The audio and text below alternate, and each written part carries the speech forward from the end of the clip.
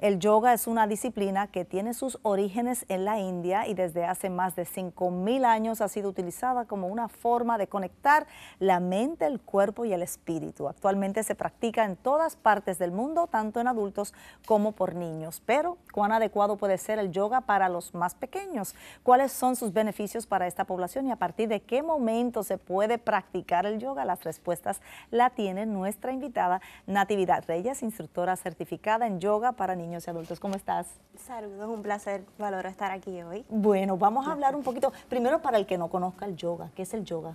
El yoga es unión de nuestro cuerpo, nuestra mente y nuestro espíritu. Es entender esas sensaciones que vamos sintiendo a lo largo de nuestras etapas en la vida, ¿verdad? Y las experiencias, a saber cómo canalizarlas y enfrentarlas y reconocer que son pasajeras y, y, tener ciertas capacidades y habilidades que se van aprendiendo con el tiempo para nivelarlas. Esa es una filosofía, una, forma de, vida, de vivir, que viene acompañada por unos ejercicios que nos ayudan a implementar eso. Si podemos hablar un poquito de los ejercicios que vienen acompañados. Bueno, se practican ejercicios en los niños, eh, se, les presenta de manera lúdica. Eh, eh, con juegos, ¿verdad? se adapta a sus diferentes edades, tiempo y espacio.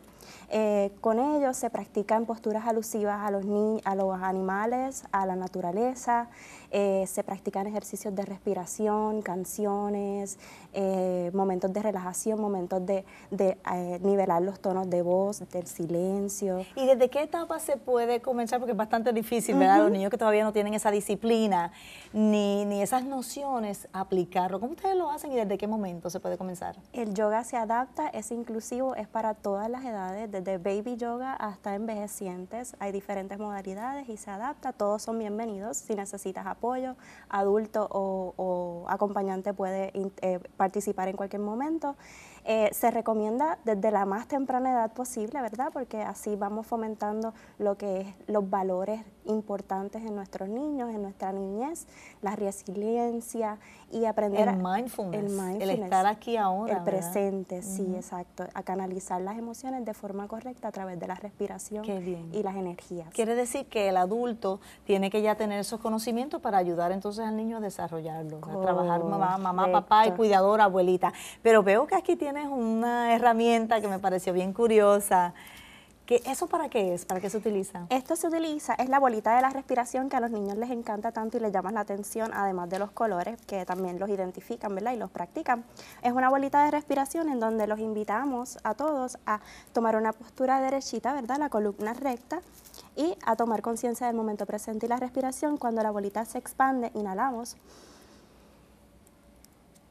Y cuando se contrae, exhalamos y así vamos practicando varias respiraciones y los vamos trayendo al momento presente y ellos se van tranquilizando, van expresando que van sintiendo cada vez cómo va su respiración, si de momento estábamos haciendo muchas posturas que lo agitan, hay un momento de pausa, vamos a respirar. No vamos a sentir los latidos del corazón. Momento de paz y de silencio también, que es tan importante en este mundo tan ruidoso que tenemos. Pero el que no sepa o quiera eh, saber cómo practicarlo, ustedes tienen varios eventos programados próximamente, ¿verdad? Sí.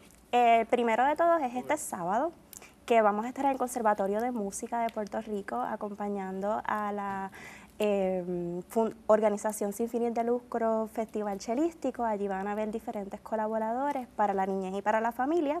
Es un evento libre de costo desde 9 de la mañana hasta 12 del mediodía. Eh, se pueden registrar a través de la página de, de, de, mi perfil, que próximamente le estaremos dejando saber. Y el 15 de septiembre hay una clase de Kids Yoga a las 4 y media de la tarde. Y el 22 tenemos taller de arte y Kids Yoga, que es un taller familiar también. Eso es excelente porque no se practica en todas partes, ni hay tantísimos instructores en Puerto Rico y mucho menos aplicado a niños. Este, y por eso eh, AdFan, ¿verdad?, los, incorpora al programa de Head Start y todo lo que ellos están haciendo para el que quiera más información y quiera a lo mejor practicarlo de forma pues, privada con su familia, ¿cómo, cómo se hace? Bueno, se pueden comunicar conmigo a través de las redes sociales, es Slime Party Workshop Puerto Rico o al teléfono 787-632-4824.